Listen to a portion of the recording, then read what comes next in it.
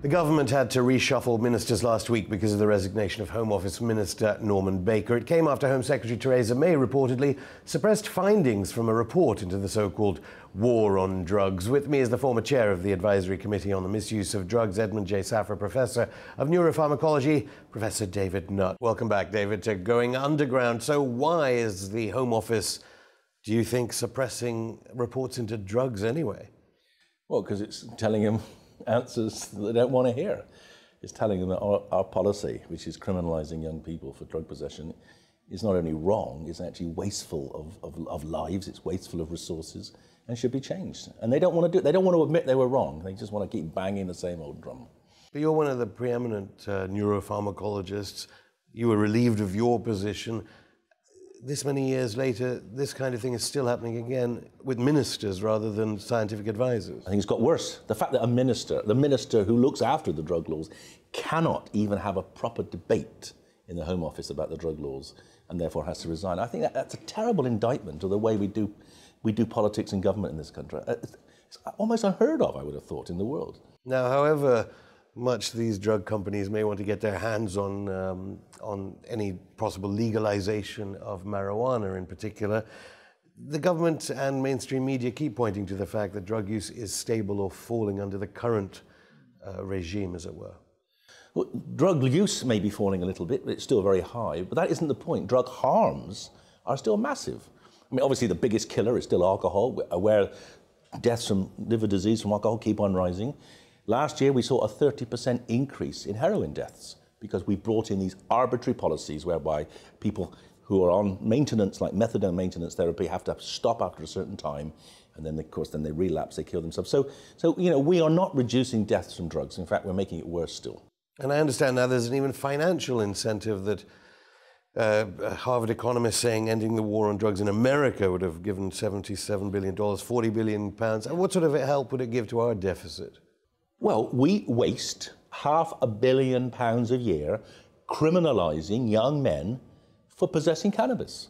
Half a billion pounds a year. Alcohol costs this country 30 billion pounds a year. Sensible policies proven elsewhere in the world would have massive impact. Maybe five, 10 billion pounds a year we could save in this country if we had sensible drug policies. Well, specifically with uh, Class B marijuana, do you think uh, the government is in any way influenced by the relaxation of regulation in Portugal or, or in the United States, most notably? Well, it should be, but it's not because we keep the mantra we're winning the war on drugs. We're not.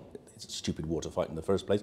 In doing that war, we're creating vast collateral damage. A million young people in this country, most of them black or Indian, have got criminal records for possessing a drug which does less harm to them than the alcohol that the police who arrest them drink.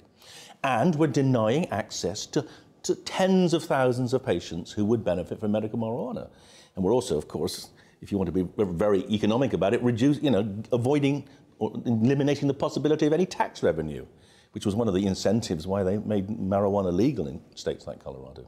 But what about these adverse effects of psychosis, etc., which the government continually like to the, talk about? The government exaggerate beyond belief the harms of drugs. Cannabis doesn't cause schizophrenia. In some people, it may bring, bring the illness on for a year or two, but it doesn't cause schizophrenia. Despite all these recent reports that have been These reports from... are just regurgitations. This so-called WHO report was a regurgitation. Actually, it was almost word for word what we wrote in 2008.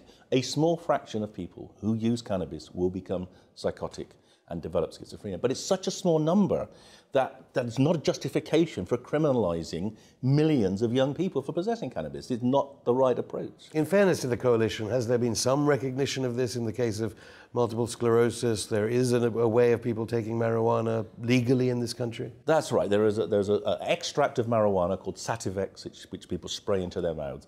But there again, we have, it's very difficult for patients to get hold of it. NICE hasn't given it a very wide approval. Most doctors don't want to prescribe it. So is it a health issue? I mean, we're talking about the Home Office of Norman Baker. Should Jeremy Hunt really be well, the person talking about marijuana and drugs? This is the absurdity. We're one of the very few countries in the world which gives decision making about the harms of drugs to the, to the division of government which looks after the police. It's a health issue. It always is a health. The, lo- the, drug laws are about reducing the harms of drugs. Of course, drugs should be in health, and health has said they'll have it. But the Home Office like it because drugs is one of the few areas where you can score political points very cheaply.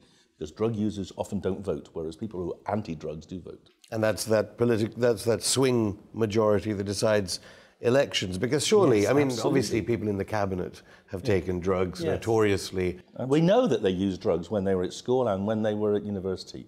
And they know that drugs don't harm them because obviously they're now running the country. But they're terrified of that group of voters that read the Daily Mail and vote Tory, and they want to keep those. So even when usually when we talk about foreign policy here, Britain does follow the Americans.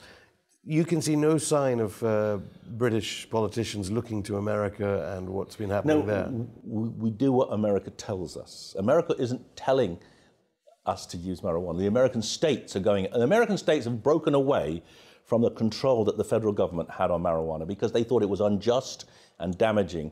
We should now do the same. We should treat ourselves as we are, the 52nd state, and we should allow our populace to vote on medical marijuana. We're pretty certain that 80% of this country would vote for medical marijuana if that was put. At the same time, NICE do say even when it's used for MS, marijuana isn't a very cost-effective drug when it's administered. It's not or cost effective the way it's prescribed at present because the regulations around marijuana are so enormous that that inflates the costs about tenfold over what they would be if it was sold in the way it used to be as a tincture or people were allowed to grow their own. On other drugs, I mean, you're not favor, in favor of decriminalisation of all drugs, are you?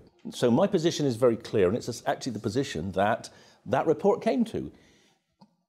There should be no criminalisation of drug possession of any drug, because in most cases the drug will do less harm to the person than the criminal record. And the small proportion of individuals who are addicted to drugs, criminalising them is actually compounding their problem. They've got an illness, and putting them in prison for an illness is, makes no sense at all. In fact, we know that more people start heroin in prison than stop heroin in prison. So the criminal approach to drugs has failed. Portugal took the brave move 12 years ago to decriminalise possession and treat people with drugs as having health problems, and they've revolutionised. They've reduced imprisonment, they've reduced the cost of drugs to the society, and they've made a more humane society. People get treatment rather than criminal records. Professor David Nutt, thank you. Thank you very much.